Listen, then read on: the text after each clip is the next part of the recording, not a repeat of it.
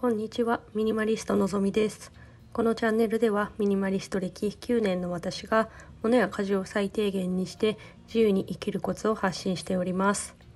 今日はですね新居のルームツアーをしていきたいと思います。よろしくお願いします。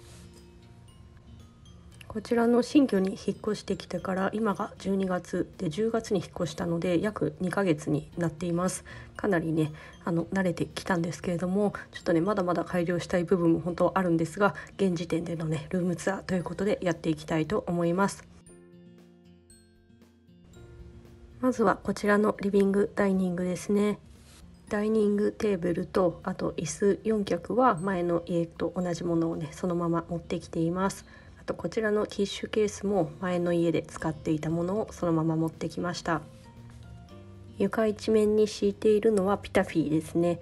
LPF521 のウォールナットという色を使用しています。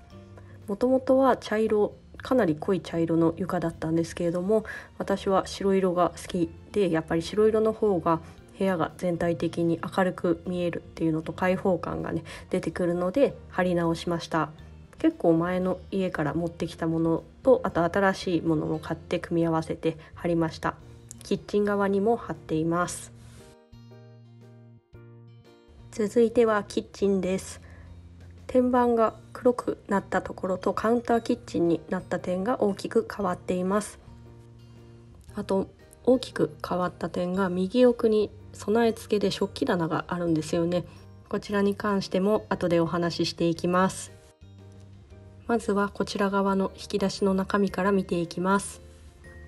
こちらに関してはストックで普段あのビニール袋が入っていることがあります。こんな風に空っぽになっていることもあります。はい続いて下が食洗機ですね。こちらも前の家と同じ型ではあるんですけれども深さが若干ね浅いものになっています。なので大鍋などは手洗いするようにしています。シンクはこんな形で前の家よりも一回りくらい大きいものになっています。ディスポーザーがついているので生ゴミはここで処理しています。シンクにあるものはこちらの食器洗い洗剤、手洗い用の洗剤と食洗機用の洗剤とあとはこちらのサンサンスポンジで水切れが良くて気に入っています。シンクの下の部分の引き出しは包丁が1丁あります。普段はロックしてあります。さらにその下にはですねあの洗剤類などのストックがあります。袋とかあとキッチンのシートとかスポンジのストックあとは右側にあるのは全部洗剤とかハイターですね。こちらの下のスペースはオットゾーンとなっています。はい真ん中の引き出しはカトラリー類とかあとはラップとかですねアルミホイルあとは調理器具などが入っております。真ん中の方に私のイヤホンも入っています。朝ご飯を作る時に Voicy を聞いたりするのでこの中に入れております。その下の段は乾物とかあとはペーパータオルとかティッシュのあのストックが入っています。ここもねそんなにないんですけれども徐々にあの災害用のストックとかもねちょっとずつローリングストックできるものを入れていきたいと思っています。はい、でこの列の一番下があの使用頻度が低い器具ですね。夫がたまに使う卵焼き器とあとスケールとあとオーブンの天板があります。そしてコンロの部分ですね。壁の部分は相変わらず調理器具とか鍋類をかけないようにしています。ここに排気口カバーをつけています。前の家ではグリルを使わなかったんですが新居では使う予定なので掃除が楽になるようにつけています。あと置いてあるのはあのペーパータオルだけなのでかなりすっきりね調理できるようになっています。はい。でここの引き出しは実は歯ブラシが入っています。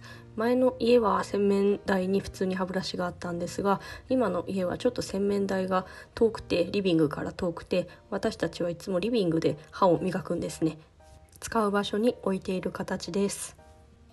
続いてコンロ下の引き出しですが前の家と変わらず鍋ですね。鍋類とかあとはまな板。あとは、えっと、ボウルとかざるなどをね全部ここに入れてあります。ここに置くことでコンロでの調理がねすぐにしやすいっていうようになっています。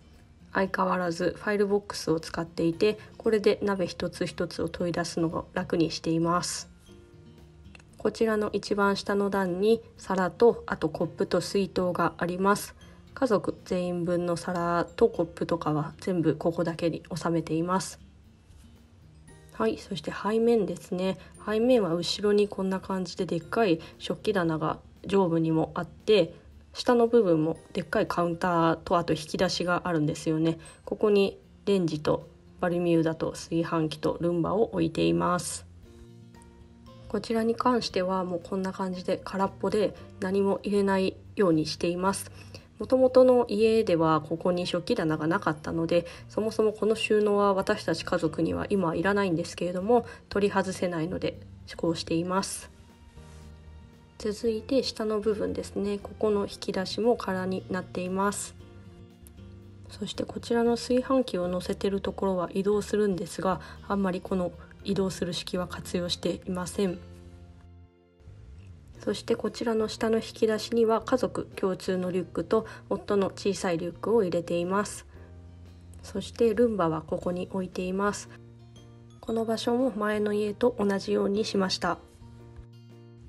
もともとはこちらに扉がついていたんですが外してここに置けるようにしました。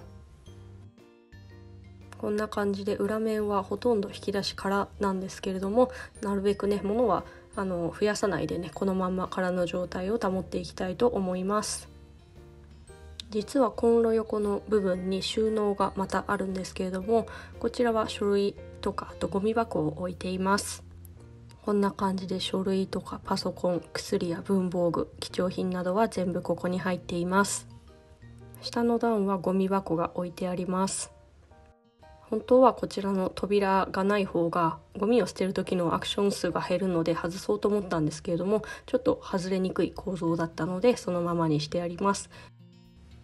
前の家と変わらずキッチン台にはペーパータオル以外は置かないようにしています。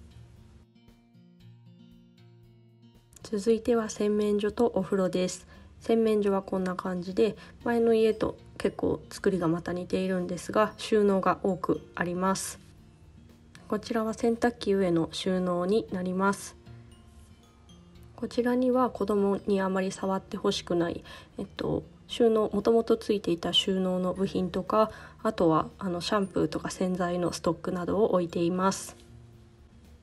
洗濯乾燥機も前の家で使っていた元と同じキューブルを持ってきました。こちらが洗面台ですね。前の家と同じで鏡収納が3つに分かれています。下の収納はこんな感じで少し多めになっていてほとんど使っていないんですが後で中身をお見せします。洗面台は大理石調に変わっています。で置いてあるものはハンドソープディスペンサーとあとペーパータオルです。鏡裏の一番右側の収納はこんな感じです。上の段には何も入っていなくて一番下の段には娘のヘアゴムとかスポンジや歯ブラシのストックが置いてあります。続いては真ん中の鏡裏の収納ですね。こちらも上の段には何も入っていなくて真ん中の段に私のスキンケア。あとは下段に子供の薬と櫛を置いてあります。一番左の部分は夫のゾーンなので相変わらず私は見ていません。続いて下の部分の収納になります。一番上はドライヤーとあとはコロコロも今回はここに入れています。あとはもう収納は全部空っぽなんですね。結構洗剤前の家ではこの下の収納に入っていましたがそれも洗濯機の上の収納にしたので全部ねここはもう空っぽになっています。続いては洗面所の奥にある収納です。上の段はこんな感じです。一番上が夫の服。で2段上から2段目が私の下着とか服。3段目がタオル。4段目が子供のパジャマとあと息子のおむつです。下の段はこんな感じでこちらも空っぽになっています。続いてお風呂を見ていきたいと思います。壁の色もね大理石調になっています。浴槽側から見るとこんな感じです。相変わらずですねシャンプーとか洗剤の収納はお風呂のタオルバーかな。タオルバーを使っています。ここに全身シャンプーと大人のシャンプーと洗剤とスポンジを置いてあります。お風呂もかなり必要最低限のものだけ置いてすっきりしています。はい続いてはトイレですね。トイレは前の家よりは少し広くなりました。結構高いところにね収納があります。トイレ自体はタンクレスになりました。子供用の踏み台を最近買って使っています。あとは前から使っている子供用便座も息子に活用しています。トイレ上の収納はこんな感じで子供用のおむつとあとはおむつの袋とあとはトイレットシートあとは右側にトイレットペーパーがあります。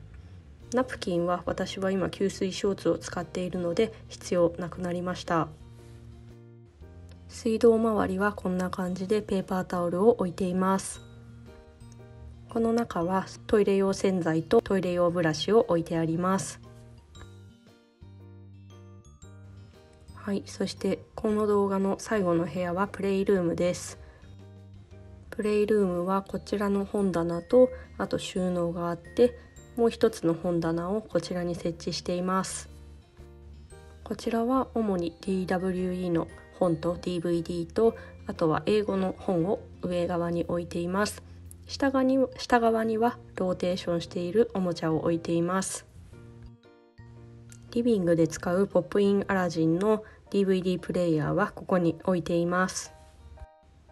反対側の本棚にもですね一番上が OR キーとかの多読本があって真ん中は日本語の絵本や図鑑あとアルバムもここに置いています。そして一番下段はおもちゃとあとは DWE のものとかこちらも日本語の絵本があります。プレイルームにしている場所の備え付けの収納もこんな感じでたくさんあります。中には前の家と変わらず子供のおもちゃを入れています。相変わらず無印のポリプロピレン収納ケース横ワイドをね愛用しております。上2段が DVD とかおもちゃ下2段が娘と息子の服を入れています。以上新居のルームツアーでした。他にも玄関とか寝室が2部屋あるんですけれどもちょっと今回は割愛させていただきました。また次のねお楽しみとしていただけたらと思います。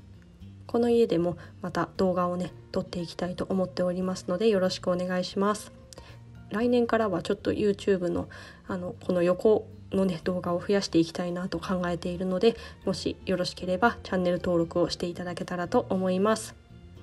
こちらの動画が参考になりましたら是非いいねをお願いしますそれでは最後まで見ていただいてありがとうございました。